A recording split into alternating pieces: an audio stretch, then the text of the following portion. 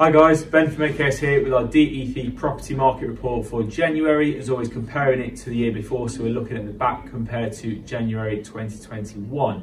Uh, so starting off, number of sales agreed is down by 35%. Um, so yeah, kind of a fair few less agreed, but also in terms of new properties coming on the market, which probably has impacted that slightly, uh, number of new properties coming on is down by 23%. So like I said, that's probably had a bit to do with uh, the fact less sales are being agreed if less new properties coming on.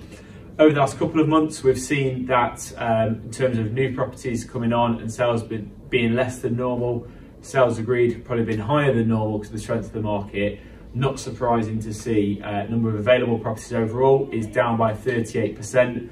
I think for the last three, four, if not five or more months, uh, in terms of available properties, that number's always been down compared to the previous year as well.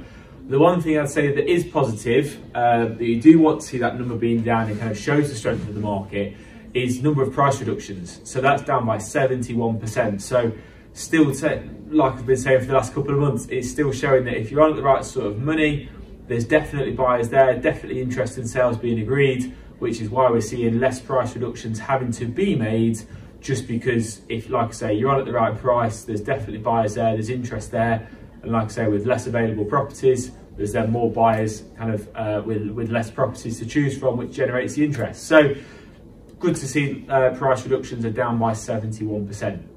As always, if you want any advice on your property, we'd love to help you. Drop us a message, give us a call. We'd love to speak to you about it. And hope you have a great month and we'll see you next month.